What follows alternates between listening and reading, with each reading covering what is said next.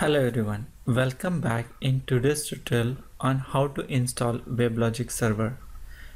In today's tutorial we are going to see what is WebLogic server, what are the prerequisites for the WebLogic server installation and how to install the WebLogic server or what are the steps for this installation.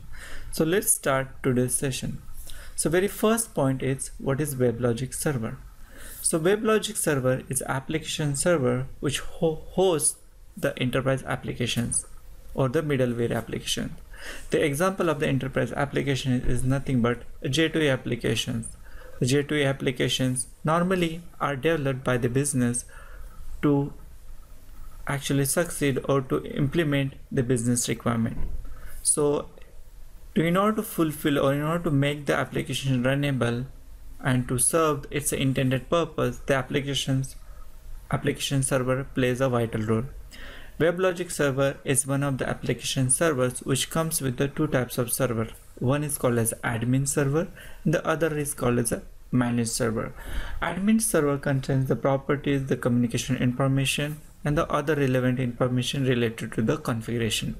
However, the managed server mostly responsible for the managing the business application. Now, so let's see what are the prerequisites for the installation of the WebLogic server. The very first requirement, we should have the JDK 1.8. The JDK 1.8 we can actually get from the Oracle server. Also, um, uh, particular from the Oracle website, the the WebLogic application server also we can get from the Oracle. So Oracle is provided for the JDK as well as for the WebLogic. The next requirement, we should have the enough memory on the system or the machine where we are installing the WebLogic server. Doesn't matter it's your local system or the actually your production environment or the QA or your UAT environment. So we should have the enough memory to install. Otherwise we will get the messages showing the not enough memory now the third thing how to install. So before going to jump or before jumping into the how to install we should have some basic understanding from where we get this all these installers. The very first installer we will get from the the oracle and that is nothing but the jdk make sure we have the jdk 1.8 which is the prerequisite to install the weblogic 12.1 onward weblogic application servers so if you are going to install JD, uh, WebLogic 12.1 we should have the JDK 1.1 uh, 1.8 version. So you can download the JDK and install. Once it is installed the JDK will look like this. Let me go to the installation directory.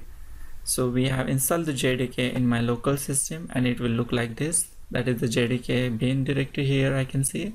So make sure all the folders are correctly installed. The next thing is WebLogic installer. Again the WebLogic installer will also provided by the Oracle. And you will see the installer look like this. Oracle WebLogic server installers. As it says installers it comes with the two flavors. One is generic installer and the other is quick installer which has the uh, the uh, which comes for the Mac, Windows and the Linux operating system. For today's demo, we have we are going to use the quick installer. So what you have to do, you have to just download it. Once it is downloaded, it will look like a, a zip file. For example, this is the zip file you will get. So you, you need to extract it. So I have extracted it and it will, once it is extracted, you will see the three files, the executable file, uh, the HTML file and the TXT file. The one which I have created just a temporary folder. You will not see that folder because just I created for the temporary purpose.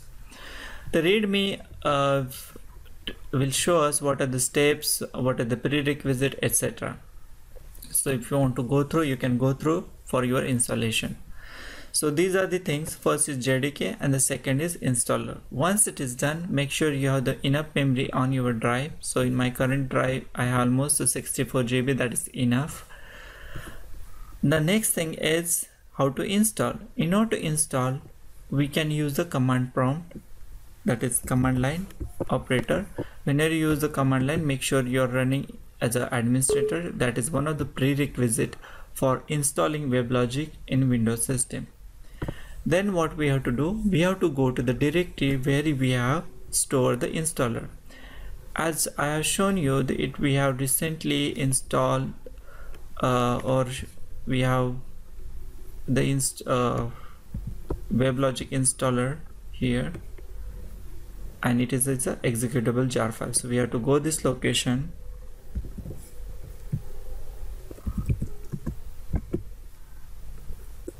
so we are at that location. So first thing we'll check what is the java home?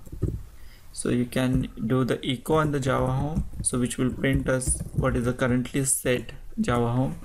If it is not currently pointing to this location then the next thing you have to do is you have to set the java home. So in order to set the java home you have to use this command set java underscore home and then give the path where the java home is available now I would like to execute the the the location or I would like to execute the jar file for the installation. The command for the installation is as there is some bugs in the installation which asked us to provide the exact part of the exact part exact path of the java executable. So we have to provide this complete path of the java executable. That is because there is a bug in the WebLogic installer then we have to command hyphen java. We have to provide the name of the jar file that is uh, just we have extracted and where what is the location where you want to install the WebLogic. So I have created one WebLogic folder at the C drive. I will show you shortly. So go to the C drive and here is the WebLogic folder. Currently it is empty. Now what we'll do we'll just execute this uh, command and we'll see what happens. So make sure we have the admin rights on our directory and enter it. As if everything java, home is correctly set if everything is set correctly it will appropriately extract those files and try to install. Now you can see the cpu speed is 30 megahertz. Uh, you will see the, the the space must be greater than 300 MB so that is minimum requirement. So you should have more than that. Then it is going to set the oracle home. It is also going to check what is the java version. The minimum jdk required is 1.8.0101 my current jdk is 1.8.0131 that is correct. And the check is success. Also it check the for the certificate whether you have correctly uh, properly downloaded from the appropriate website or not. Then it is verifying some data and also copying some files. And then it will actually start the installation of the java file or the installation of the WebLogic server. It will show the percentage how much percentage it is uh, done and what is remaining for example I earlier tried to install and it will have this folder like structures. I also captured few of the screenshot for you guys. For example when I started installation uh, this is the first screen I got and where I can see um, like how much memory it is required what are the checks that is going through. And the next slide actually this installation process quite good um, number of times. So it's it will take like maybe around uh, 5 to 10 minutes to complete installation. So instead of spend investing your time I just want to show you how it will look like. So we'll see the percentage complete 10 20 30 it will go to the 100 percent and it will finally give the message the installation is completed successfully. Now you can see the percentage going increasing increasing.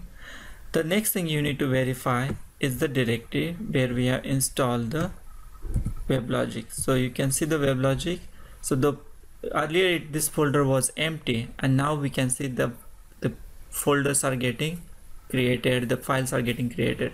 Once it is finally created you will have the all the required file set and by this way you can install the WebLogic server in your system. Uh, I hope this is enough for today's tutorial. For the next tutorial we will see the more details about the WebLogic server keep watching this space and if you have any questions or queries do not forget to mention in the comment section of this video. Thank you again and have a nice time